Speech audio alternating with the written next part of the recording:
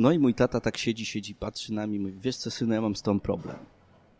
Bo kiedyś, jak mnie koledzy pytali, co robisz, to mówiłem, że jeździsz w karetce, że tam ratujesz ludzi, zszywasz, nie wiem, coś tam innego robisz, nie? Wszyscy oczywiście, no, Bohater, ojca, tak, nie? po Tak. Potem jak się dowiedzieli, że jesteś pielęgniarką, nie, nie pielęgniarzem, pielęgniarką, no to wiesz, że tam byjesz ludzi, przynosisz baseny, nie wiem, coś tam, facetów trzymasz za różne dziwne miejsca i tak dalej. No ale im wytłumaczyłem, że najpierw gdzieś tam w MSWiA, a potem wojskowym, że właśnie taka intensywna terapia, no to jeszcze okej. Ale co ja mam teraz powiedzieć, że depilujesz, no, Krew Mózg. Medyczny podcast o rozwoju zawodowym, ścieżkach kariery i pracy z pasją. Zaprasza Maciej Latos. Cześć, słuchasz 41 odcinka mojego podcastu. Gościem dzisiejszej audycji jest Marcin Jachimiak. To pielęgniarz i ratownik medyczny, który obecnie pracuje w oddziale intensywnej terapii oraz w medycynie estetycznej. I właśnie o tej medycynie estetycznej i mężczyźnie pielęgniarzu e, wykonującym e, taką profesję będziemy rozmawiać. Będziemy rozmawiać również o naszej roli mężczyzn w zespołach pielęgniarskich, o tym, co byśmy chcieli zmienić, czego zmieniać nie warto. Rozmawiamy również o stawkach i o tym, czy w pielęgniarstwie w naszej rzeczywistości obecnej da się po prostu zarobić. To wszystko w dzisiejszej audycji, do której wysłuchania serdecznie zapraszam. Ten odcinek oraz inne znajdziesz na stronie krewmusk.pl, w aplikacjach do słuchania, np. iTunes, Spreaker, Spotify oraz na YouTubie. Zapraszam do subskrypcji i wystawiania opinii. Cześć Marcinie, witam Cię serdecznie. Dzień dobry, dzień dobry. E, Miło mi, że przyjąłeś zaproszenie do mojego podcastu, bo wiem, że e, jesteś generalnie zapracowanym człowiekiem. Chyba jak każdy w naszym zawodzie. Nie? E, No pewnie tak, pewnie tak. Tym bardziej się cieszę. Zacznijmy od... A może mieliśmy zacząć generalnie od, bo dzisiaj będziemy rozmawiać o mężczyznach w pielęgniarstwie. Natomiast może zacznijmy od tego plebiscytu, w którym, w którym bierzesz udział, bo właśnie przed nagraniem, kiedy zamawiałeś kawę, przyglądałem sobie jeszcze, mm, jeszcze ten ranking i się okazuje, że e, no, jesteś e, na drugim miejscu, więc e, gratulacje. Powiedz e, dwa słowa o tym plebiscycie, bo wydaje mi się, że nie wszyscy wiedzą o co chodzi, a gdzieś to się na Facebooku, na Instagramie przewija. No więc tak, Polska Times zorganizowała plebiscyt na różne zawody medyczne roku, podzielone oczywiście na województwa, podzielone oczywiście na powiaty. Przypadkowo zdarzyło się tak, że otrzymałem list nominacyjny od któregoś z pacjentów. Dotarł on do mojego miejsca pracy. Oczywiście, no nie, nie zwracałem na to zbytniej uwagi, bo stwierdziłem, że pewnie jakaś kolejna reklama albo jakieś kolejne coś dziwnego. Tych listów zaczęło przychodzić coraz więcej. E, Zadzwoniono do mnie z tego Polska Times, zapytano, czy chcę wziąć udział w tym plebiscycie, poproszono mnie o dane osobowe. Wysłałem dane osobowe, zdjęcie, no i tak naprawdę tak się zaczęło. A teraz tych głosów już jest no ponad 200, także jestem bardzo, bardzo zadowolony, mile zaskoczony. 235 dokładnie, także, także gratulacje, trzymam Dziękuję. kciuki. E, Link oczywiście do tego plebiscytu umieścimy w notatkach do tego podcastu. E, My się znamy generalnie ze studiów pielęgniarskich, e, jako nie, niewielka brać męska tam na tym naszym roku, E, no ale jakoś te nasze drogi się tam później rozeszły. Powiedz, czym się obecnie zajmujesz zawodowo? Y, Obecnie zawodowo pracuję w klinice medycyny estetycznej jako pielęgniarz. No i niestety z przyczyn ekonomicznych musiałem również wrócić na łono szpitala, ale te przyczyny nie były przyczynami finansowymi, na szczęście. Niestety nie chciano mi dać kredytu na mieszkanie, bo kontrakty, to jest, to jest bolączka. To jest bolączka duża, nie? Tak, tak. E, Ale co w ogóle e, sprawiło, że znalazłeś się w medycynie estetycznej? Bo generalnie, e, tak jak obserwowałem nasze koleżanki, no to sporo dziewcząt, kobiet poszło w tą medycynę estetyczną. No i przyznam, że dla mnie to był dosyć duży szok, e, gdy zobaczyłem, że zaczynasz e, Zresztą e, gdzieś, tu, gdzieś tą twoją sylwetkę mm, czytałem, czy to wywiad z tobą, czy mm, chyba e, w, na pielęgniarkach cyfrowych, Dokładnie nie? tak, Więc byłem no, tak. zaskoczony, szczególnie, że zawsze kojarzyłeś mi się jednak z medycyną stanów nagłych, a tutaj nagle medycyna estetyczna. O co tu chodzi?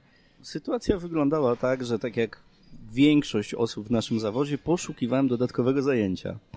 Pracowałem na RC kardiologicznej, więc tak jak mówisz, w stanach nagłych typowo. E, no i skończyłem swój pierwszy, pierwszy taki poważny kurs anestezjologii intensywnej terapii. Szukałem jakiegoś miejsca, żeby pobawić się typową anestezją, usypianiem do zabiegu jakiegoś bloku operacyjnego. I zupełnie przypadkiem trafiłem na ofertę jednej z klinik, nie wiedziałem wtedy, że to jest medycyna estetyczna, e, która poszukiwała takiego pielęgniarza do usypiania tak typowo zabiegowego. Poszedłem tam na rozmowę kwalifikacyjną. Rozmowa bardzo ciekawa. Ja oczywiście po dyżurze nocny, gdzieś tam dość mocno zmęczony. Ja tak chodzę tylko do dentysty. No. A, no po dyżurze na wszelki wypadek. No, żeby nie mieć za dużo energii, nie uciec. Dokładnie, więc po dyżurze nocnym dość mocno zmęczony. Spodobały się moje kwalifikacje, szczególnie właśnie to ratownictwo medyczne, które kiedyś tam się przewijało, pielęgniarstwo. Zaproponowano mi jakiś taki krótki okres próbny. Moimi zadaniami przede wszystkim było pomoc chirurgowi przy zabiegach takich drobnych chirurgicznych, jakichś wycięciach, i znieczulenie tego typu rzeczy, typowo pielęgniarskie opatrunki, ściąganie szwów i, i tego typu sprawy. No i oczywiście usypianie do zabiegu plastyki powiek, ale nie taka typowa pełna anestezja z intubacją i tak dalej, tylko, tylko po prostu jakiś tam propofol albo fentanyl midanium, różnie to bywało i opieka taka pooperacyjna, pozabiegowa. I byłem bardzo zdziwiony, bo pierwszego dnia pokazano mi klinikę, drugiego dnia stałem do zabiegu, a trzeciego dnia zaczęto mi pokazywać zabiegi medycyny estetycznej i nie tyle pokazywać, co nawet mówić dobrze, to jest ta, to, to i to, masz robić tak i tak. Tak, tam zawsze takie dziwne nazwy padają jakieś. Dokładnie te... tak, jakieś endermologie i tak dalej. Nie tak miałem jest. kompletnie bladego pojęcia o medycynie estetycznej i kosmetologii, przyznaję się do tego. No ale po krótkiej rozmowie z szefem i pytaniem o co chodzi, no, w innej roli tu przyszedłem, on tak na mnie popatrzył i mówi, że kosmetologa nie da się douczyć medycyny, jest to bardzo trudne, ale kogoś, kto jest medycznym, da się douczyć bardzo szybko kosmetologii. No i powiedział, żebym się nie martwił. Po kolei zacząłem przychodzić kursy z kolejnych zabiegów, bo tam nie ma czegoś takiego, jak że przychodzi się, nie wiem, laseroterapię i umie się wszystkie lasery. Nie, tam jest konkretny laser, konkretne szkolenie. Udało mi się ukończyć już tych szkoleń sporo, no kilka na pewno, takich poważniejszych. No i tak od zabiegu do zabiegu coraz bardziej brnąłem w ten rynek, coraz bardziej przenosiłem swój ciężar pracy. No i tak się już zdarzyło, że praktycznie trzeci rok już w medycynie estetycznej, nawet do tego stopnia, że przez dwa lata było to moje jedyne źródło utrzymania. No i jak tam się czułeś w takim razie? Medyk, e, jednak ratownik medyczny, bo jesteś też ratownikiem. E, no, w takich wydawałoby się, bo to cały czas tylko moje odczucie, no, można powiedzieć, około medycznych często się wydaje e, zabiegach. W sensie, znaczy ja wiem, że to jest medycyna, tak? Ale mhm. E, żebyś mnie dobrze zrozumiał, no jakby to zupełnie poza naszą galaktyką, tak? W której się e, gdzieś tam, dokładnie. z której wyrośliśmy, tak? Zawodowo. Była to swego rodzaju miła odskocznia od takich typowych stanów nagłych, ale też duże wyzwanie, bo świadomość tego, że prostą rzeczą, naprawdę prostym jakimś peelingiem, położeniem jakiegokolwiek środka można zrobić człowiekowi krzywdę, była bardzo duża. Okazało się, że tak naprawdę ani na jednym, ani na drugim kierunku nie nauczono nas dobrze dermatologii, która była tam bazą. Yy, nie nauczono nas dobrze alergologii, która też tam była bazą, więc ja naprawdę spędziłem bardzo dużo czasu siedząc w książkach, ucząc się, analizując skóry, pracując z lekarzami, którzy mi pokazywali różne rzeczy. I wbrew pozorom, to jest bardzo, bardzo ściśle medyczna branża. Dziwi mnie troszkę lekkomyślność niektórych osób pracujących w tej branży, mam na myśli tutaj kosmetyczki i kosmetologów, robiących zabiegi, ale nie czytających na przykład przeciwwskazań. Mi po tych dwóch naszych kierunkach medycznych, o których wspomnieliśmy, bardzo często było ciężko rozpoznać niektóre stany, zadecydować, czy po różnych symptomach pójść, od y, nitki do kłębka, tak jak to się mówi, a nie wyobrażam sobie, w jaki sposób może to zrobić osoba nie mająca wiedzy medycznej. I później jeszcze zacząłem się spotykać z powikłaniami, takimi typowo pozabiegowymi, po różnych naprawdę prostych zabiegach, jak jakieś masaże ciśnieniowe, bańki, gdzie dochodziło do zerwania mięśni, do poważnych uszkodzeń skóry, ale okazywało się, że właśnie zawsze brakowało gdzieś tej wiedzy medycznej i pokory. Tego, że jeżeli czegoś się nie wie, nie rozumie, to, to, to, to coś, co my mamy, taką czerwoną lampkę, która się gdzieś zapala z tyłu głowy. No, ja w sumie też e, a propos e, tych powikłań, miałem taki krótki epizod w przychodni prywatnej. To było dla mnie chyba zbyt dużo odskocznia, bo długo tam nie wytrzymałem, jest pełna rok. E, bo miałem też pobierać tylko krew, a później już wydawałem patyczki, tak, na, na nosicielstwo i tak dalej, i tak dalej. I, tu, i tłumaczyłem tym zakłopotanym młodym ludziom, gdzie mają ten patyczki sobie wsadzić. E, e, no i pamiętam właśnie tam przyszła taka kobieta, która mm, właśnie w jakimś gabinecie kosmetycznym, to chyba było gabinet wtedy, a nie jakiś ośrodek medycyny estetycznej, no przyszła po depilacji, ale wydepilowała sobie nie tylko włosy, ale na pewno cały naskórek i jeszcze głębiej. Wyglądało to koszmarnie, przyznam szczerze. No i wy też się tym zajmujecie? Też, też się zdarzał. Akurat w tej klinice, w której pracuję w tym momencie nie ma depilacji. Znaczy jest już laser, czekamy jeszcze na różne testy, szkolenia i tak dalej. W poprzedniej tak. I to była chyba najciekawsza i najbardziej taka e, może nie stresująca, ale najdziwniejsza sytuacja, ponieważ przychodziły kobiety do kliniki medycyny estetycznej wydepilować sobie różne miejsca, w tym miejsca intymne i nagle okazywało się, że trafiają na faceta mhm. który wykonuje ten zabieg. I było takie e, chwila zastanowienia się. Ale tu też mam śmieszną historię, że właściciele tej kliniki, znaczy, bo to, to była klinika korporacyjna, ta pierwsza, w której pracowałem, e, przy, byli przeciwni zatrudnieniu mężczyzny. Właśnie ze względów takiego oporu pacjentek. Okazało się, że kompletnie to był strzał kulą w płot. Z takiego względu, że po dwóch, trzech miesiącach miałem najwięcej klientek więcej niż pielęgniarki, które pracowały rok, dwa lata i nawet na depilacji okolic intymnych, także to, to też było ciekawe. No oczywiście w naszym zawodzie, czy to palet, czy, czy jakaś tam inna część ciała, to jest po prostu część ciała, ale to, to było dość ciekawe, że przychodziły panie i na przykład chciały się zapisywać tylko do mnie i wszyscy byli w szoku i dziewczyny na recepcji i koleżanki, tak, że, że, że jak to do ciebie i tam bikini brazylijskie albo coś innego. A to musiałeś być skuteczny po prostu. To... Być może, no, być może, albo dobrze zagadywałem. No, no tak. Dobry, dobry bajer. E, no ale powiedz mi, to skąd w takim razie e, taki opór generalnie góry przed tym, żeby zatrudniać mężczyzn, bo wydaje się, że no, nie byliście na pewno pierwszą kliniką w, w Polsce, czy byliście? Prawdopodobnie byliśmy pierwszą. Ja do tej pory nie znalazłem pielęgniarza, być może jest taki w Polsce, jeżeli jest, to prosimy, żeby się odezwał, który zajmuje się typowo medycyną estetyczną, ale również właśnie zabiegami typu czyszczenie skóry, depilację i tak dalej. Nie znalazłem. Być ale... może taki jest, mam nadzieję, bo tak bym się czuł trochę samotnym wilkiem. No ale, ale to myślisz, dlaczego, z czego to wynika? Z oporu nas, mężczyzn, przed nie, e, wykonywaniem nie, takich nie, zabiegów, czy przed, no bo jakby jest dużo mniej ciekawych rzeczy, e, które, w których jednak mężczyźni pracują, nie? Opowiem taką małą anegdotę a propos, a propos zawodów i tego być może postrzegania społeczeństwa, jak to widzi. To będzie anegdota taka typowo życiowa, dotyczyła mojego taty, sytuacja rodzinna, alkoholowa, wiadomo, tam jakieś święta i tak dalej, no i siedzę tak z tatą i zaczynam rozmawiać. Y, jak będzie trzeba, to to wypikamy, oczywiście, żeby, żeby nie było. No i mój tata tak siedzi, siedzi, patrzy na mnie i mówi, wiesz co, synu, ja mam z tą problem. Bo kiedyś, jak mnie koledzy pytali, co robisz, to mówiłem, że jeździsz w karetce, że tam ratujesz ludzi, zszywasz, nie wiem, coś tam innego robisz, nie? Wszyscy oczywiście, no, Bohater, ojca, tak, nie? po tak.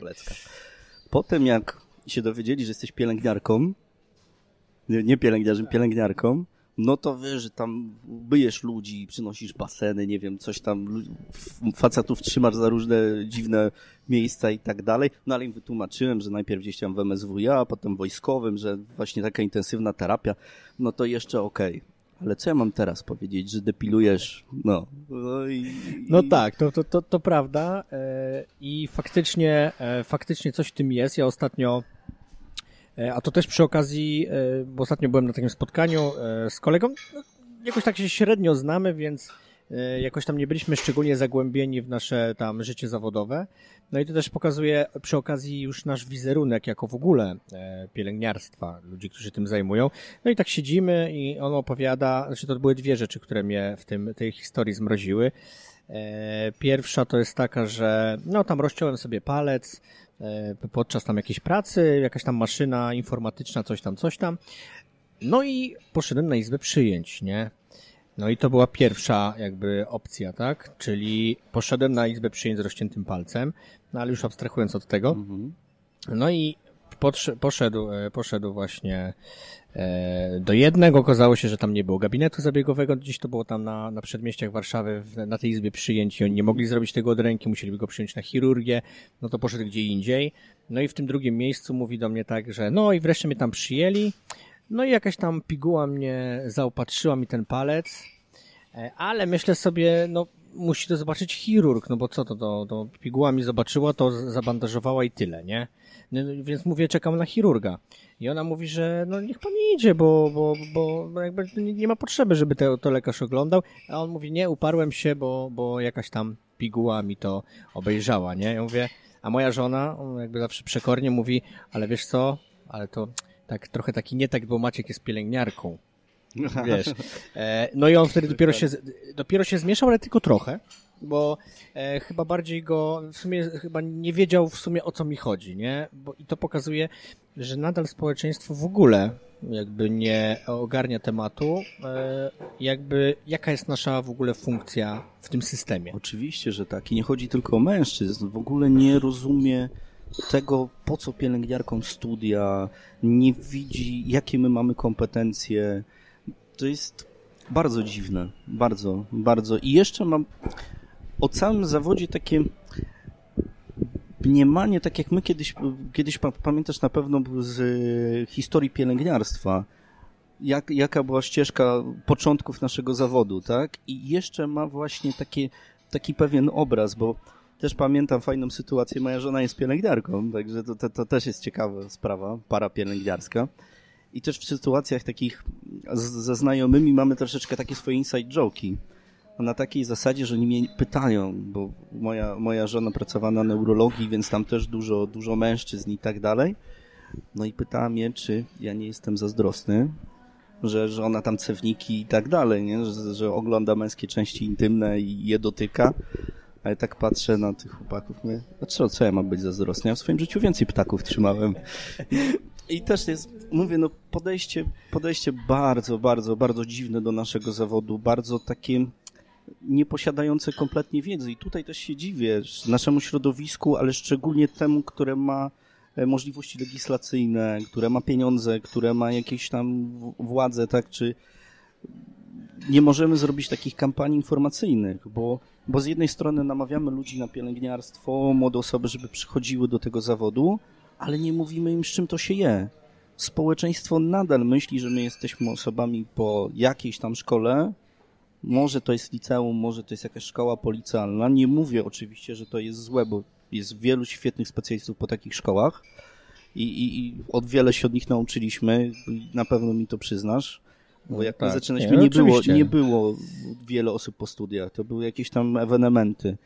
Nauczyliśmy się dużo, ale nadal takie, co tak właściwie robi pielęgniarka, czy pielęgniarz, tak? No, zlecenia, które da lekarz, on wie, co podaje. Ludzie są bardzo często zdziwieni, że wiem, co ja włączam w pompach. Tak. Albo że, mm, albo że zlecenia są skonstruowane czasem w ten sposób, no nie do końca legalnie, ale to inna kwestia, że wiele rzeczy podajemy jakby z tej karty, ale jakby według własnego uznania, tak? Oczywiście. To no, tak, to słynne tak... WRP, tak? Ale no tak, tak. No to tak. jest takie, no troszkę śliskie, jeśli chodzi o prawo, no ale to jakby jest inna kwestia. Ale tylko jeszcze ci powiem jedną rzecz a propos, mm, a propos jeszcze, bo właśnie e, takich różnych anegdot. Przedwczoraj bodajże mnie spotkało taka sytuacja, starsza pani sobie leży, no i e, nasza rezydentka tam pochyla się nad nią, pyta więcej niż ja, razy jak się czuje i tak dalej, i tak dalej. No i e, w ciągu dnia tą koleżanka się zajmowała też przy okazji pielęgniarka tą, tą pacjentką, a na nocy jakby ja przyjąłem tutaj opiekę. No i ta pani, fakt, że starsza, ale to było takie w sumie e, zabawne. E, najpierw poszła moja koleżanka do, do domu, więc ja tam się zacząłem kręcić. Na pewno nie, nie myślała, że jestem pielęgniarzem, to na 100%. No i e, ta rezydentka w końcu sobie poszła gdzieś tam na jakąś przerwę. Ja tak się kręcę koło niej, tam sobie coś sprawdzam, patrzę na dreny, no tak i robię obserwację wstępną. I ona tak mówi, ale przepraszam, przepraszam, proszę pana, gdzie są te siostry, co tutaj poszły stąd, nie? Ja mówię, no jedna, mówię, poszła do domu, a mówię, druga, e, lekarz, mówię, poszła tam do innych pacjentów, no, a czegoś potrzeba? Nie, nie, no bo ja bym chciała te siostry, bo tam chciałam coś, coś, coś powiedzieć. Mówię, wie pani co, no ja jestem tą siostrą, co się dzisiaj będzie panią zajmować. E, więc jakby ona tak się na mnie patrzyła takim wzrokiem, no niezbyt miły bym powiedział. No i mówię, więc jakby, no, czy tego pani ch chce, czy nie, to, to ja będę się panią zajmował. Mam nadzieję, że się pani zgadza, nie? Ona tak mnie zmroziła wzrokiem i tak, wiesz, niekoniecznie. No i, no i ostatecznie, ostatecznie była na mnie obrażona przez całą e, noc, w zasadzie tylko dlatego, że nie byłem kobietą.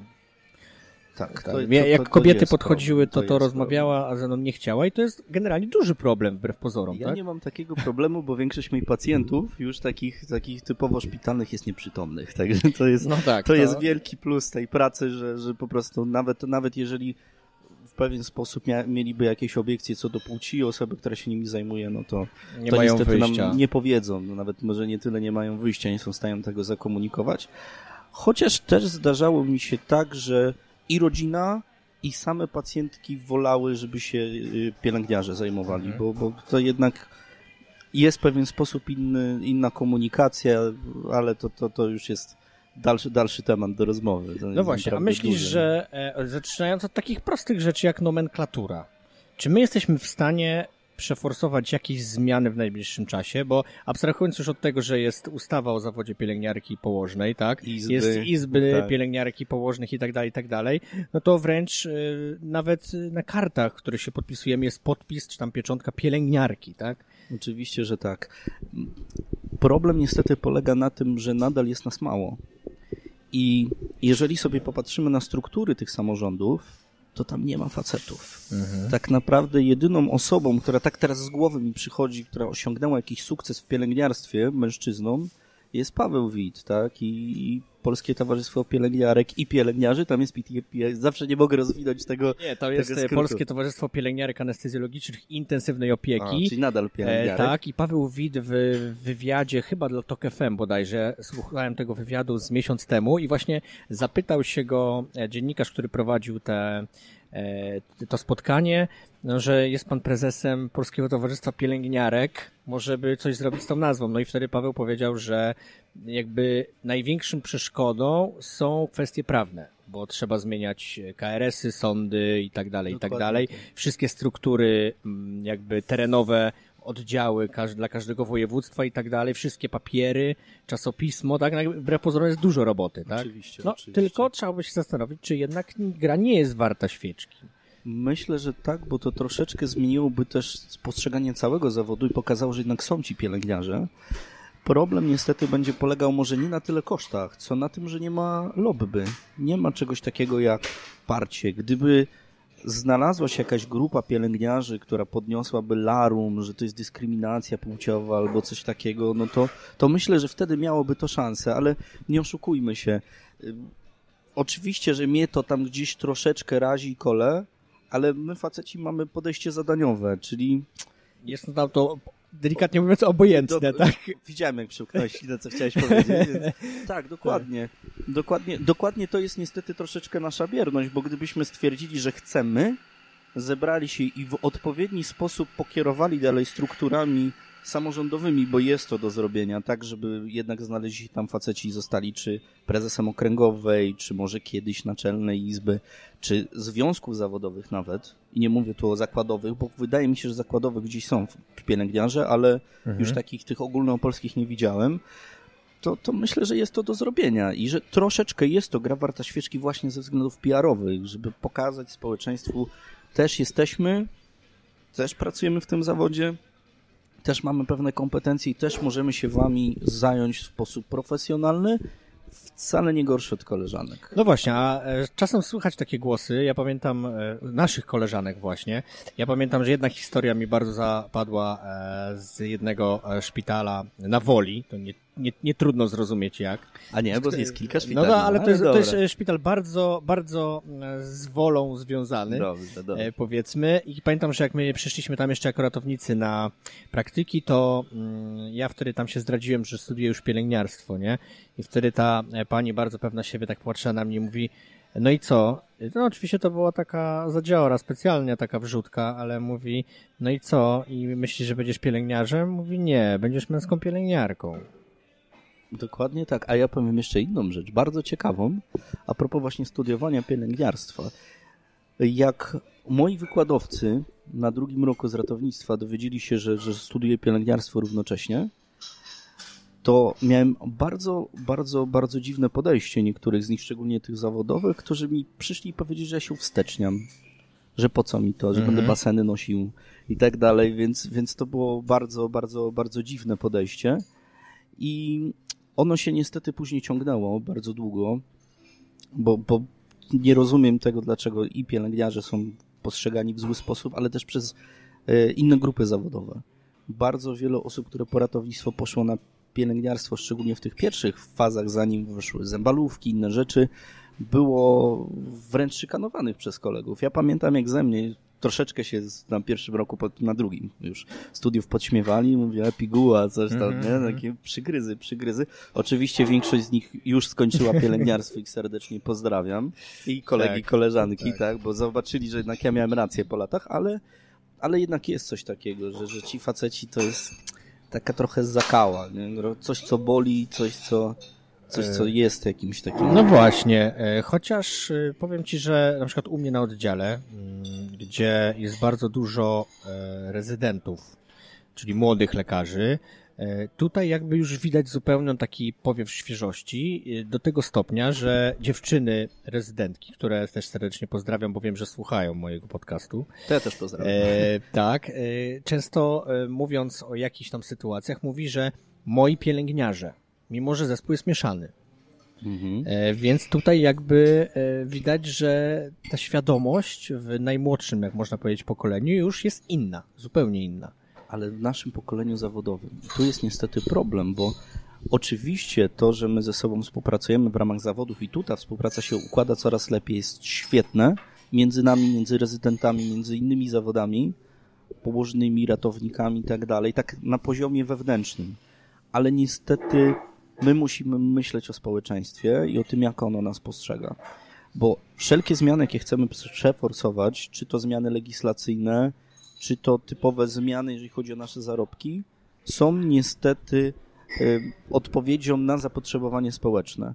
Jeżeli my pokażemy, że jesteśmy profesjonalni, że tak jak mówiłem, mamy studia, że nasza praca jest wymagająca, łatwiej będzie wytłumaczyć temu społeczeństwu, dlaczego nie podobają nam się nasze warunki finansowe, czy dlaczego chcemy zmian idących właśnie nawet w nazwie izb, w nazwie związków zawodowych, w nazwie e, ustawy Mhm.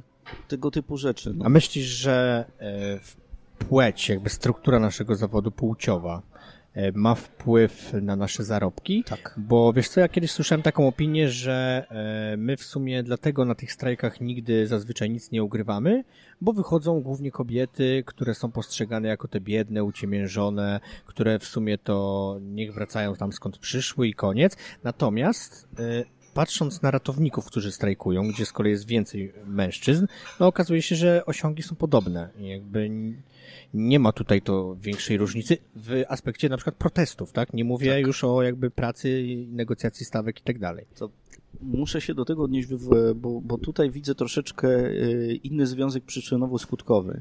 Jeżeli chodzi o ratowników, y, problem polega na tym, że nie ma tam izb My tak biadolimy na te izby pielęgniarskie bardzo często słusznie, ale jednak jest to jakaś reprezentacja, która bierze udział w procesie legislacyjnym i jest to pewna grupa posiadająca środki finansowe dzięki składkom, która sobie może pozwolić na różne fajne rzeczy.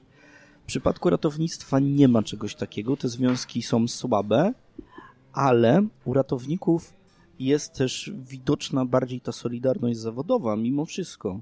U pielęgniarek problem niestety tej struktury, że tych mężczyzn jest mniej, polega na tym, że w naszym państwie, czy to się komuś podoba, czy nie, nadal jest model patriarchalny, mhm. że to facet zarabia i to na facecie widnieją większe wymagania. I oglądałem bardzo, bardzo dawno, no może dawno, parę tygodni temu taki wywiad naukowy typowo, to była taka bardziej debata na temat e, różnicy płci w Szwecji. Tego jak, bo tam jest bardzo mocny model postawiony na równouprawnienie. I okazywało się, że kobiety tam nadal zarabiają mniej i nadal jest to problematyczne i nadal jest jakiś sposób tej dyskryminacji taki odczuwalny przez nie i przez środowiska feministyczne, ale on nie wynikał z płci takiej typowej, z jakiegoś tam nacisku społecznego, tylko z wyborów, jakie dokonywaliśmy. Faceci skupiają się bardziej na rzeczach, kobiety na relacjach. I w wypadku protestów pielęgniarskich, jeżeli będzie większy odsetek facetów, będzie nam łatwiej, bo facet skupia się na rzeczy, czyli na tym, że on musi zarobić, utrzymać rodzinę. Pielęgniarki, nie mówię o wszystkich, bo też są takie, które utrzymują rodzinę, ale zazwyczaj to nadal jest model patriarchalny, więc ona nie ma tak dużego ciśnienia na to, żeby zarabiać duże pieniądze. Widać to też po w wyborach, jakie dokonujemy, jeżeli chodzi o rozwój pielęgniarstwa i o ścieżkę zawodową. Jak siedzimy i rozmawiamy i zapytasz kogokolwiek z naszych kolegów, kto skończył pielęgniarstwo, to nie idą intensywna terapia, anestezjologia, e, chirurgia, nie tylko dlatego, że idą w ciekawe rzeczy, ale też te najbardziej opłacalne Zabiegowe. finansowo. A, okay. Zobacz, że to niestety tak wygląda. My oboje poszliśmy w anestezjologię, bo jest opłacalna najbardziej finansowo. My nie wybieramy od jakichś takich typowych oddziałów zachowawczych, bo tam po prostu nie ma pieniędzy. A pielęgniarki idąc, koleżanki nasze, idąc bardziej emocjami, one dokonują innych wyborów. No i z tego względu też e, pewnie wybieramy częściej te bardziej zabiegowe, można powiedzieć, oddziały, bo jednak jest tam wydaje mi się trochę mniej takiego bezpośredniego kontaktu z pacjentem. Dokładnie tak. Nie? Są jakby instrumentalne często rzeczy, czy na bloku, czy na popie, czy na oicie, które trzeba wykonać jest dużo elektroniki, e, dużo gadżetów, tak, dużo sprzętu, Dokładnie. dużo kabli i tak dalej, i tak dalej, i tak dalej, a jest jednak mniej takich e, e, bardzo miękkich umiejętności, chociaż jak się okazuje, również w tych umiejętnościach miękkich, no nie odstępujemy raczej od kobiet. No nie, nie, tutaj raczej to znowu idziemy ogólnikowo bardzo. No, my zupełnie mamy inną, może nie kulturę pracy, inną, jakość to też jest złe słowo. Pracujemy w zupełnie inny sposób. Jeżeli patrzę na moje koleżanki, które pracują x lat w zawodzie, to one mają coś takiego, że dla nich procedura, jeżeli ona nie ma co robić, w danym momencie, oczywiście się bardzo rzadko zdarza, ale mam na myśli, że wykona jakieś zlecenia, wszystko ma ogarnięte przy pacjentach, nawet na oddziałach intensywnej terapii, to bardzo często widzę, że ona szuka pracy, a to seligninę potnie, a to coś tam, a faceci mają coś takiego, że mają do zrobienia pracę, jak zrobią, herbata, siadają, gadają, oczywiście kontrolując wszystko, co trzeba. Tak? I to też będzie dalej się przekładać znowu na zarobki, do których wracamy, bo jeżeli idą kobiety, zagra im się na emocjach, powie się na zasadzie, no damy wam 200 zł, ale nie odejdziecie od łóżek, nie ten, no to, to, to, to niestety niestety zawsze, zawsze daje za jakąś wygraną. A no. w przypadku facetów, gdybyś nie pracował w pielęgniarstwie, co byś robił w życiu? Takie, takie bardzo szybkie pytanie.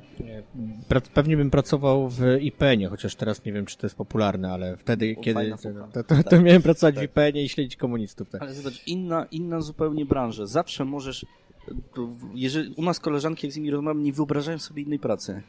A u faceta, który jest zadoniowy, owszem, uwielbiam swoją pracę, tak? Bardzo się cieszę z tego wyboru, chociaż na początku nie był taki pewny, ale cieszę się z tego, co robi, uwielbiam swoją pracę, ale w momencie, w którym ona nie dawałaby mi pieniędzy, ja znowu staję zadaniowo. Ja mam mhm. utrzymać rodzinę, więc ja pójdę na budowę, albo za przeproszeniem za kasę do dyskontu. No to akurat jest teraz dosyć popularne tak, i opłacalne, Dokładnie, nie? ale pójdę ale tak, tam tak, jasne. i to pielęgniarstwo z żalem w sercu, ale rzucę.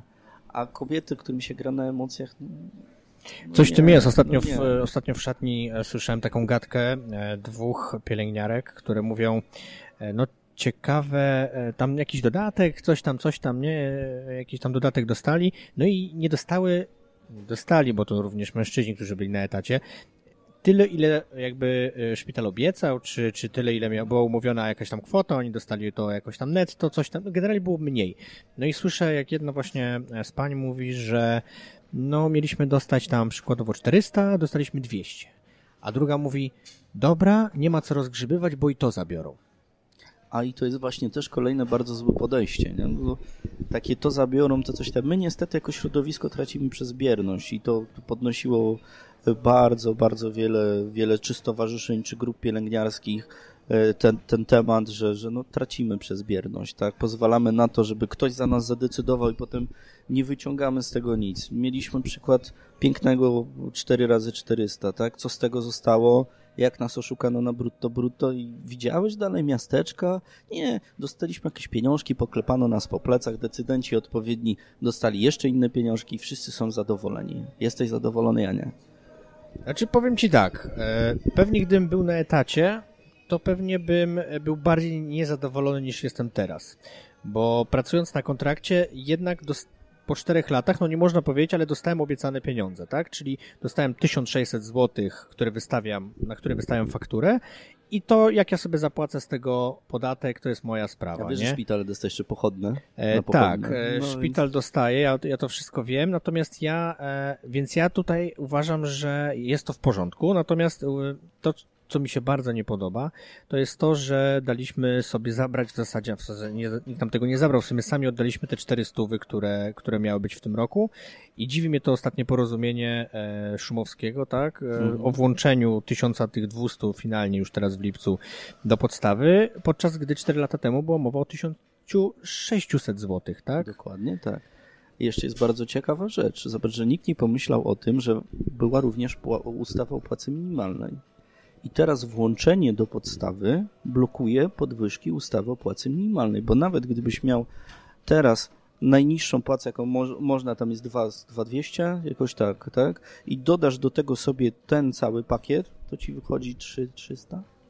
Tak, no to też pokazuje, że jakby te dwa przepisy nie były w ogóle, jakby nie grają ze sobą, tak? Jakby... Znaczy, nie były przemyślane, to Powin... było na zasadzie tak. zróbmy chryję, ministerstwo coś tam da, dobra, pięknie przybicie piąteczek, wszyscy obtrąbili sukces, a potem się okazało, że ten sukces nie był do końca sukcesem. No dobra, a pytanie prosto z mostu, czy w naszym zawodzie da się zarobić? Da.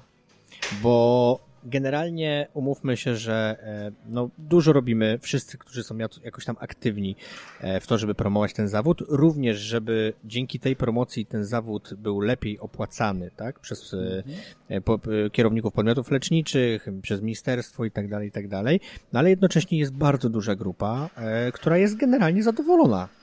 I to jest niestety problem. Jest duża grupa, która nie tyle jest zadowolona, co nie obserwuje środowiska i nie widzi, co się dzieje. Oba jesteśmy również pracownikami kontraktowymi, bo ja no tak, szpital, etat, piękna, ciepła posadka. No tak. Oczywiście, no i kontrakt w tej estetyce. Sytuacja wygląda, słuchaj, tak, że a właśnie to jest też fajne, że dużo, dużo osób młodych idzie na kontrakty i łatwiej jest nam negocjować stawki. Ale problem niestety polega na tym, że wiele osób idzie do szpitala i godzi się na to, co im szpital daje, bez jakiejkolwiek próby. I rozmawialiśmy na ten temat na Facebooku, bo widziałem, że czytałeś opowiadałem tam historię o tym, jak e, Szpital Bielański wystawił e, konkurs na, na jeden z oddziałów właśnie i poszliśmy tam większą grupką znajomych. Spotkałem tam zupełnie przypadkiem złożyć ofertę konkursową.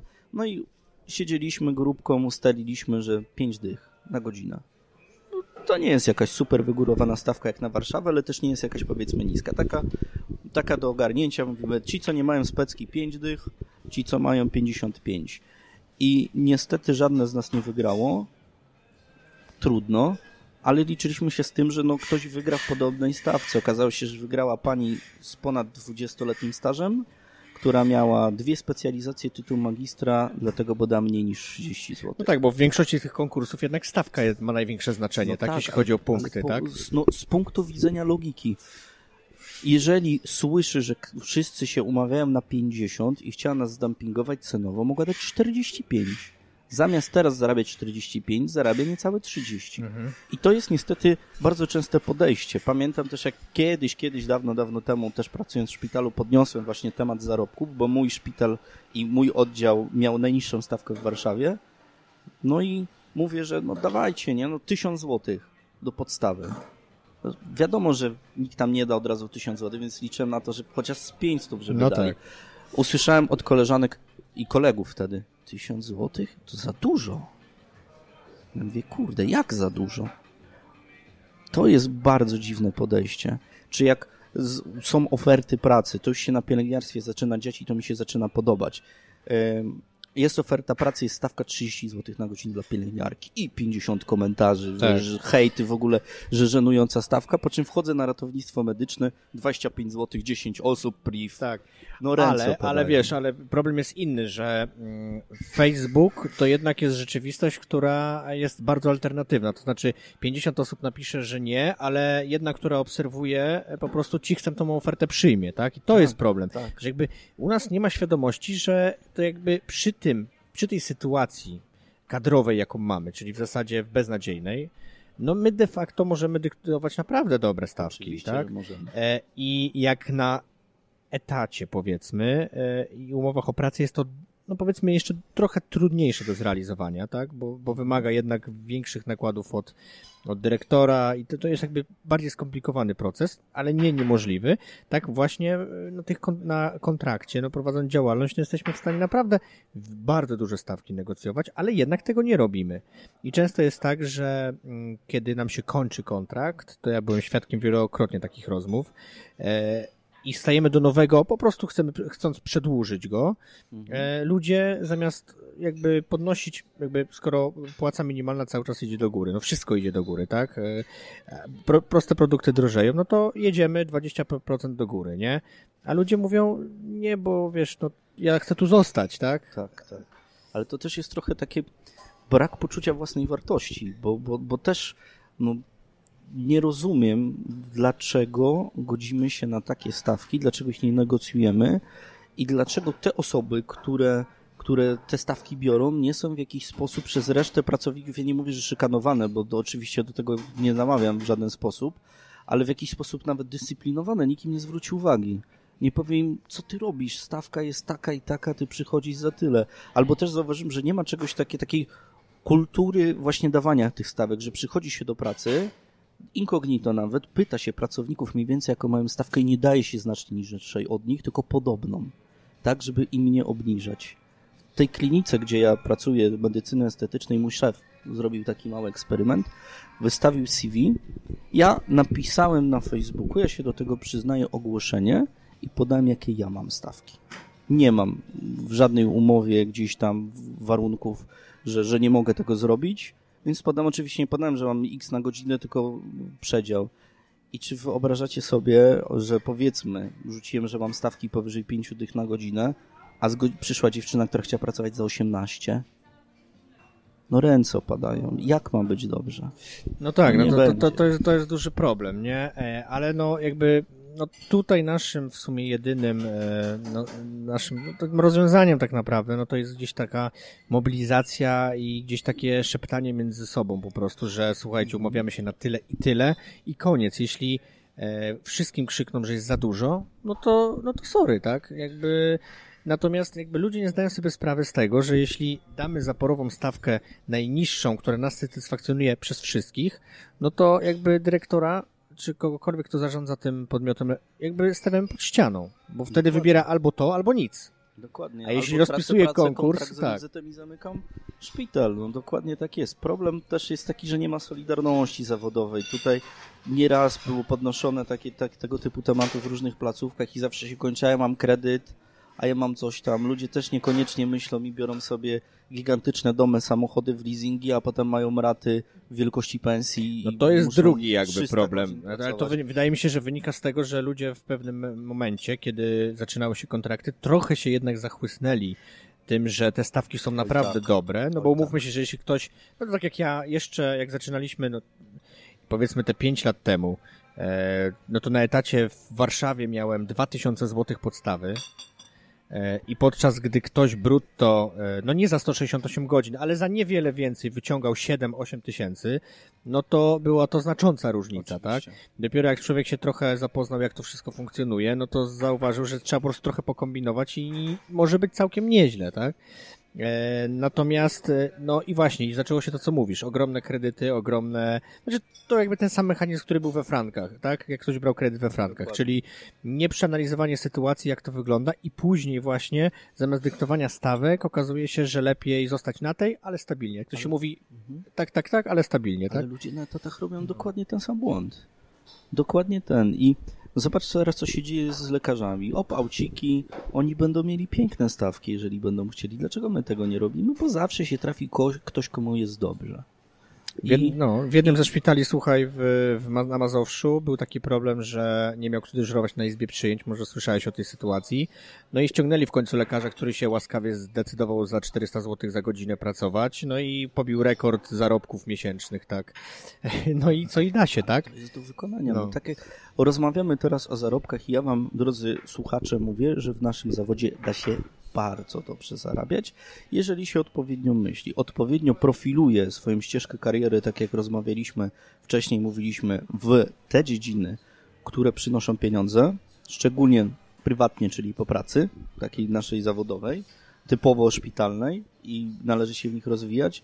I druga sprawa, to trzeba myśleć i negocjować stawki. I te, te kwoty, o których Maciek powiedział, czyli 7-8 tysięcy w 160 godzin są do zrobienia bez mniejszego problemu, a nawet i dużo, dużo, e, dużo. Wiesz, ale teraz z kolei część słuchaczy, która mm, usłyszała o tym, że można dobrze zarobić, na pewno e, pomyśli sobie albo odpowie e, w ten sposób, że no tak, po pewnie 500 godzin walicie i nie. opowiadacie tutaj, że możecie zarobić, podczas gdy ja na przykład wyznaję, ja osobiście wyznaję taką zasadę, że nie pracuję więcej niż półtora etatu, tak? Przy mojej sytuacji rodzinnej, zawodowej i to na przykład to jest moja stawka, to jest jakby moja godzina zaporowa, e, czyli 240 godzin i ani godziny więcej, co by się nie działo, no tak? Ja, ja się staram podobnie pracować.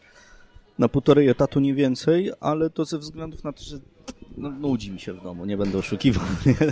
A młodą żonę moją kochaną pozdrawiam. Nie, no tak naprawdę no, mam możliwość pracy i pracuję, ale też staram się nie przesadzać, bo nawet w naszym wieku, bo jesteśmy jeszcze dość młodzi, praca powyżej 300 godzin miesięcznie przez kilka lat odbija się na zdrowiu i, i tak się nie da.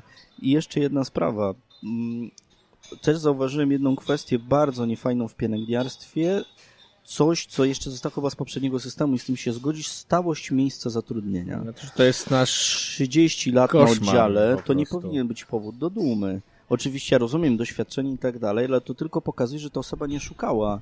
I też miałem takie, takie głosy od koleżanek i kolegów, że o, bo ja jestem, mam 5 lat do emerytury, gdzie ja pracę znajdę teraz. Ja mówię, kurde, wszędzie.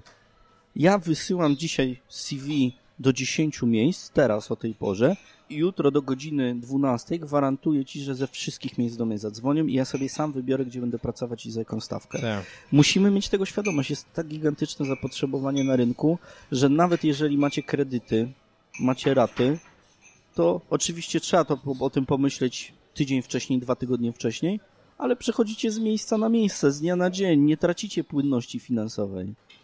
No tak to wygląda. Dziś pracuję tutaj, jutro pracuję tam, jeżeli nie, nie pasują mi warunki musimy niestety my się do tego przyzwyczajać, bo tylko zmiany wymuszą dalsze zmiany, ale też zmiany w nas i w naszej mentalności. Przede wszystkim w nas i naszej mentalności. No właśnie, tylko mm, wydaje się, że bardzo dużo rzeczy wokół pielęgniarstwa się ostatnimi czasy dzieje, dobrych przede wszystkim, ale jednak dalej jest gdzieś taki opór materii, można powiedzieć, ludzkiej na to wszystko i ja pamiętam, to już przywoływałem w którymś e, z odcinków e, moich taką, e, taki komentarz, który padł kiedyś, że no takiego gówna tam to o pracy po pracy nie będę słuchał. No i abstra- jakby analogicznie jakby inni ludzie, którzy gdzieś wykonują podobne aktywności, no nie wiem, chociażby Weronika Nawara, która napisała książkę i o tym już rozmawialiśmy, że być może jej się to podoba, czy książka może się podobać, bądź nie, to jest jakby normalna sprawa, ale też nie dostaje, jakby dostaje bardzo dużą, dostała bardzo dużą falę hejtu, tak? Oczywiście. Wiesz ale o co chodzi? osób, które w ogóle tej książki Tak, nie tak, tak, właśnie o to chodzi, nie? Ja... I to jest, wiesz, i to, mhm. i, to, i, to, i to idzie lawinowo później, blogi, gówno, za przeproszeniem, tak? tak. No, pani Weronice, przepraszam, że no. przerwę. Jaką ja usłyszałem opinię, to po prostu od właśnie pielęgniarki z 30-letnim stażem, a co ta gówniara wie o pielęgniarstwie? Tak, nie? tak, pracuje trochę i ten to też jest takie trochę podejście bez pokory, bo, bo, bo my mamy jakieś tam doświadczenie, mamy, no mamy, na oddziałach intensywnej terapii, na różnych innych, czyli dość fajną bazę. I przepraszam, I, teraz ja ci no. przerwę, jednocześnie e, jakby zmieniły się czasy, nie pracujemy 168 godzin ja zawsze mówię, że to doświadczenie liczy się przynajmniej półtora, tak, dwa razy, tak, nie? Tak, tak, tak. No ja kiedyś policzyłem, to zebrałem chyba około 12 lat etatowych, a studia z ratownictwa skończyłem w 2003, nie, 2000, źle mówię, 13, boże, 10 lat. W 2013, a z pielęgniarstwa 15 roku. I zobacz, i 12 lat, bo zebrałem to ile godzin przepracowałem. I to jest prawda, ale to do, do, do, do, do czego zmierzałem? Do tego zmierzałem, że to też pokazuje taki brak szacunku dla kolegów i koleżanek niezależnie od stażu.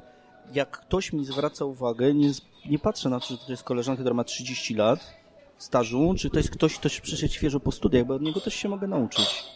I właśnie to też powinna być taka e, fajna myśl w pielęgniarstwie. My od koleżanek uczmy się zawodu, uczmy się pewnych rzeczy praktycznych, niech one uczą się od nas, jak ten zawód dalej kształtować. Bo no nie mamy jeszcze takiego wpływu. Młodych ludzi w izbach i w strukturach gdzieś tam w samorządach jest mało a taki świeży powiew by się przydał. Świeży powiew, spojrzenie na takie problemy, o których mówimy, czyli o, o właśnie kwestie płci, o kwestie nawet uznawania sobie wzajemnych kwalifikacji. Też kiedyś rozmawialiśmy na ten temat, tak, że ratownicy medyczni, którzy są jednocześnie pielęgniarkami, powinni z automatu mieć specjalizację z pielęgniarstwa, uznaną, czy położne, tak, no 3,5 tysiąca godzin ratownictwa kontra 1000 godzin specjalizacji, no i i co? Nie no, to, to są a, proste rozwiązania, rację, które można nie? wprowadzić z dnia na dzień, poprawiając jakość i współpracę między zawodami, która jest kluczowa. E, no tak, tylko myślę, że niestety e, niewielu osobom na tym zależy, szczególnie, że jakby za priorytet e, postawili sobie czy postawili, różni decydenci postawili, można powiedzieć, rzecz, która w zasadzie jest niewykonalna, czyli e, bardzo chcieliby zastąpić pokolenie odchodzące, a wiemy dobrze, że nie jest to kwestia, którą da się rozwiązać. E, nie no, trzeba po prostu szukać innych sposobów, ale jakby wzięto na sztandar to, że e, musimy koniecznie zapełnić tą lukę, nie mając w ogóle na to żadnego pomysłu. Ale pomysł jest prosty. Nie, nie, nie, wiem, czy słuchałeś ministerstwa, co ma na ten temat do powiedzenia. Pomysł jest prosty. Będzie przerzucenie odpowiedzialności na zawody pośrednie, czyli opiekunowie medyczni mają mieć coraz większe kwalifikacje i oni będą zajmować się pacjentami, pielęgniarki, pielęgniarze będą do nadzoru i do wykonywania iniekcji tego typu rzeczy i jeszcze w tą dziurę zobaczysz, że nam zasypią ratownikami. Że, no, no poniekąd już jest ustawa i furtka, tak? Że ratownicy mogą na oddziałach pracować, prawda? Nie wiem, jak to w praktyce jest realizowane, bo nie, nie śledzę tego. Nie wiem, na ile tam ja, ratownicy ja, są ja też chętni. sprawdzałem. Teraz ostatnio była dyskusja jeszcze na ten temat, żeby ratownik medyczny mógł zostać oddziałowym. Też to jest... A no było ostatnio coś, tak, tak. tak. Ja się tam mocno, mocno udzieliłem. Otóż, drodzy Państwo, pielęgniarka oddziałowa, dla jasności, to jest zawsze i musi być zawsze pielęgniarka. Wynika to z różnych rzeczy, z całej nomenklatury, z całego ustawodawstwa prawa. Ale czy pielęgniarka oddziałowa w dzisiejszych czasach jest potrzebna w sensie bycia na oddziale, jeżeli y, główne jej zadanie to jest zarządzanie? Tak? No może to być ktokolwiek inny z zawodem medycznym po zarządzaniu, tak? Te rzeczy, które są stricte pielęgniarskie, można przerzucić na kolejne zawody, czy na, nie wiem, pielęgniarki nadzorujące, tak zwane head, czy lead pielęgniarki, czyli te, które są liderami, czy, czy, czy, czy y, koordynujące. To jest wszystko do zrobienia, tylko my musimy siadać między zawodami i rozmawiać, bo to też jest bardzo duży problem, że my sobie nawzajem wbijamy szpile, nie myśląc o tym, że za niedługo nasze zawody będą się zlewać, bo czymś zasypią te braki. No niestety. Jeszcze wracając y, do kwestii płci, to mhm. nasz wspólny kolega Marceli kiedyś na dyżurze mi powiedział, że e, zaobserwował, że w zasadzie mm, być może kiedyś dojdziemy do takiego e, momentu, kiedy na przykład na ojomach, oitach, popach i tych właśnie oddziałach, o których mówiliśmy, struktura zawodowa będzie i, i płciowa będzie taka, że będą faceci pielęgniarze i kobiety lekarze. Bo faktycznie już ja u siebie na oddziale, e, no myśl, mam, nie mam pół na pół, ale jesteśmy już bardzo blisko, jeśli chodzi o parytet. E, no i na przykład zdarzają się dyżury e, obsadzone przez samych pielęgniarzy e, i na przykład same kobiety lekarzy, nie? Że jakby to zupełnie się już przemieszało, nie? No nadal jest nas mało, to, to, to o tym rozmawialiśmy. To My nie zaczęliśmy chyba w tym samym roku. Ja zacząłem rok wcześniej, a się później dołączyłem do, do was. Tak mi się wydaje, ale Być nie, może. nie, chcę, nie chcę ten. To na roku, w którym ja zaczynałem, było 8 facetów na 230 dziewczyn, ale tak jak mówiliśmy, my wybieramy znowu te oddziały oparte na rzeczach i na robieniu konkretnych rzeczy, więc będzie, będzie powoli taka zmiana struktury płci chciałbym, żeby była ona, żeby te, te, te zespoły były jak najbardziej przemieszane, bo się znacznie lepiej pracuje w takich zespołach. No właśnie, no jak to jest jeszcze z tą atmosferą? Bo nie wiem, czy ty odczułeś, e, e, czy odczułeś taki, e, bo, taką rzecz, bo u mnie zawsze koleżanki mówią, że facet na zmianie jest potrzebny. Niby z jednej strony nie chcą nas jakby tam gloryfikować nadmiernie, ale w każdym miejscu, w którym pracowałem, zawsze było, musi być chłopak na zmianie, jest wtedy spokój. Jest to prawda, to znowu wynika z cech osobowości. Kobiety się bardziej ze sobą kłócą. Znaczy, mamy my obaj, obaj doświadczenie takie, że pracowaliśmy w ratownictwie medycznym, gdzie były głównie męskie zespoły i damskie i jest zupełnie inny styl pracy. W ratownictwie medycznym, jak my się między sobą pokłóciliśmy w zespole, to się wychodziło na podjazd, strzeliło się po jednym strzale jeden drugiemu i trzeba było wracać dalej do pracy, robić rzeczy w pielęgniarstwie i między kobietami jest tak, że one się potrafią pokłócić o najmniejsze rzeczy, obrazić o to, że nie wiem, któreś dziecko dostało lepszą ocenę z historii albo z przyrody i później to czuć, taką gęstą atmosferę tak. i to się przenosi później na jakość pracy. Zresztą, yy, przepraszam Ci, że też znowu wejdę w słowo, ale to też jest kwestia jakby jasności przekazu yy, i faktycznie nie, nie, nie można powiedzieć, że wszystkie kobiety, bo to też byłoby nie, nie, generalizowanie, ale ja na przykład się spotkałem z taką sztandarową akcją nie tak dawno. E, miałem z koleżanką tutaj, e, z koleżanką mm, zajmowałem się tak by tam jakąś tam określoną liczbą pacjentów byliśmy w zespole. No i było jakoś tak, że e, moja koleżanka coś tam robiła, nie wiem, czy tam zamawiała jakiś prezent, czy coś tam robiła w komórce. E, no nie było jakoś dużo roboty, więc powiedziałem jej, że spoko, e, sieć ja zrobię, nie? Bo ona mówi, już wstaję, już wstaję. Mówię, słuchaj, sieć. Mówię, odpocznij sobie. Mówię, jakby ja ogarnę robotę, nie ma problemu, tak? No to dobra, dzięki, nie? No to zaczynam robić, patrzę, ona wstaje do mnie i już mi pomoże. Ja mówię, słuchaj, no mówiłem ci, że jakby spoko, możesz siedzieć, ja mówię, nie ma z tym żadnego problemu, ja ogarnę. Jasne, później pewnie powiesz albo pomyślisz, że nie chciałam ci pomóc, nie? Ja, ja mówię, słuchaj, u nas jakby rzecz jest prosta. Skoro mówię, że nie potrzebuję pomocy, to jej nie potrzebuję. Tak. A nie jest tak, że ja mówię, nie potrzebuję pomocy i ciekawe, czy wstanie. I zauważyłeś jeszcze w sytuacjach takich typowo ciężkich, czy w jakich, jak, jakakolwiek duża ilość roboty, jak działa, działają kobiety. One bardzo często oczywiście tą, tą pracę wykonują razem, faceci dzielą się i wykonuje każdy jakąś tam swoją działkę i oczywiście pomagają sobie, ale w zupełnie, w zupełnie inny sposób, tak? Czy jak, nie wiem, podchodziłeś na pewno do, do, do, do jakiejś tam reanimacji, udanej oczywiście resuscytacji, używamy prawidłowego słownictwa, czyli podchodzisz do resuscytacji, która się czasami udała, to zauważ, że jak idziesz z zespołem męskim albo mieszanym, to jest jasny podział tego, co jest do zrobienia. Ja pamiętam, że się bardzo dużo nauczyłem w Wojskowym Instytucie, gdzie ktoś, kto szedł za głowę, dzielił zadania. Ty defibrylator, ty leki, ty coś tam, coś tam, każdy wiedział. A na przykład tutaj, gdzie teraz pracuję, też pozdrawiam, bo jestem dość młody, tam trzy miesiące, więc jeszcze nie ogarniam tego, nie widzę takiego podziału. Mhm. Na pewno on jest, bo dziewczyny są, pracują lat X i wiedzą, tak? Ale jak ja przychodzę jako nowa osoba, to w zespole męskim dostałbym zadanie.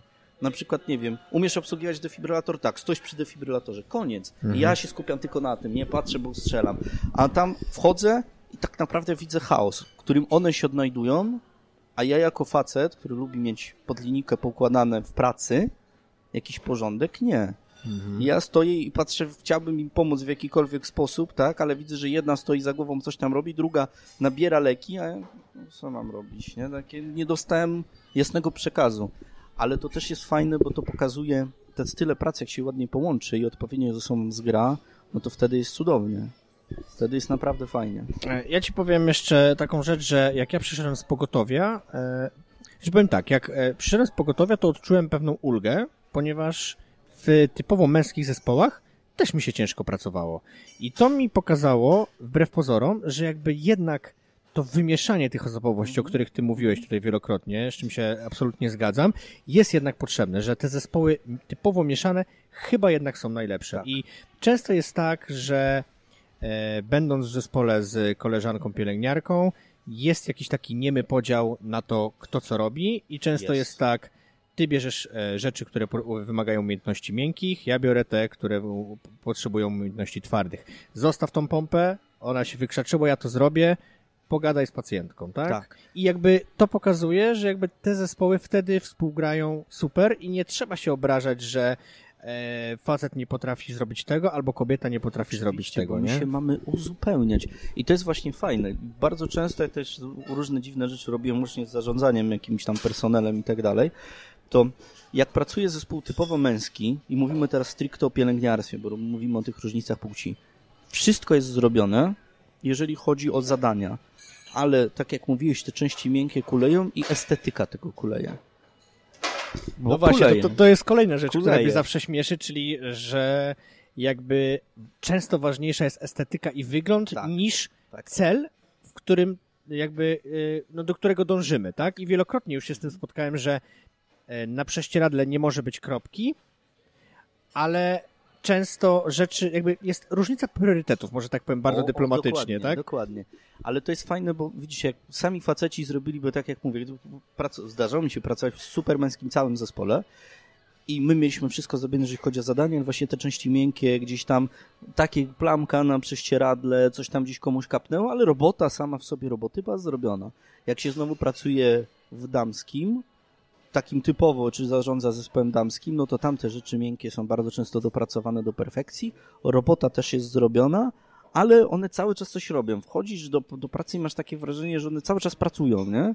Nie mam, że, o Boże, 12 godzin, ona jest zmęczona, ale patrzysz, tej roboty takiej stricte, którą byś dał facetowi, było na, na przykład na 6, a 6 godzin można było coś tam sobie porobić innego, a one przez 12 godzin, bach, bach, bach, coś, jakieś właśnie dopracowywanie tych szczegółów. I dlatego najlepiej się sprawdzają zespoły mieszane, tak jak, tak jak mówiliśmy, bo są i zrobione fajnie zadania, i dopracowane szczegóły, może nie tam na 110%, ale na 100 dzięki temu.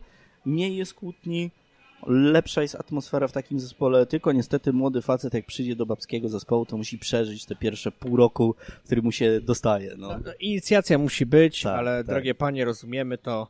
E, szanujemy was bardzo i bez was O, oczywiście, oczywiście. te zespoły, kochamy, tak, kochamy. kochamy. te zespoły by e, nie mogły istnieć. Dobra Marcinie, bardzo ci dziękuję w Ja takim razie za dziękuję, rozmowę. Nam zamkną zaraz miejsce spotkania. Tak, zamkną nam miejsce, więc e, trzeba kończyć. Bardzo dziękujemy za, za wysłuchanie tego odcinka. No i oczywiście, jeśli są jakieś komentarze e, lub ktoś się z nami nie zgadza na przykład, no to zapraszamy oczywiście do dyskusji. Jesteśmy otwarci. Marcin też jest zawsze Oczywiście. otwarty na dyskusję, jeśli chodzi o Z media i na społecznościowe. każdy- I na każdy temat.